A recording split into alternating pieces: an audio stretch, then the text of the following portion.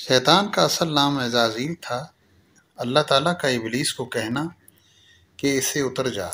इससे निकल जा। इस बात से दलील है कि वो आसमान में था। जिससे उसको उतरने का हुक्म हुआ, उसने जो मर्तबा और मकाम अल्लाह की इबादत करके हासिल किया था और अपनी फरमाबरदारी और इबादत से फरिश्तों जैसा करार दिया गया।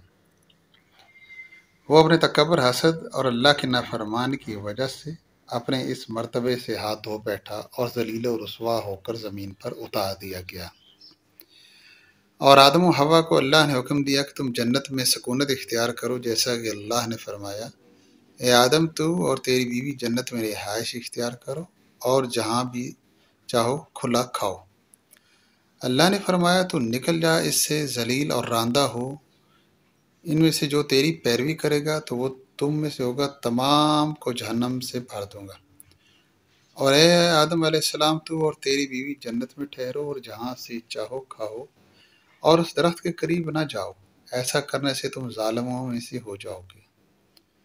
और जब हमने फरिश्तों से को कहा कि तुम आदम को सजदा करो तो उन्होंने सजदा किया, मगर इबलीस ने इनकार किया। बस हमने कहा ए आदम, ये तेरा और तेरी बीवी का दुश्मन है, वो तुमको जन्नत से निकाल बाहर ना करे।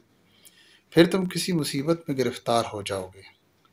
बेशक, इस जन्नत में तो कोई भूखा न होगा और नंगा नहीं होगा। और तुझे इसमें प्यास नहीं लगेगी और ना धूप का एहसास होगा।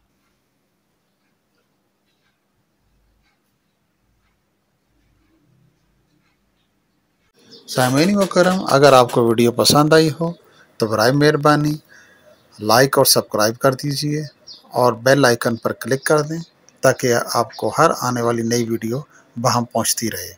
इसी तरह हमारे साथ जुड़े रहिए ताकि आपको इस तरह दिलचस्प, सबक आमोज और तारीखी वीडियोस पहुँचती रहें।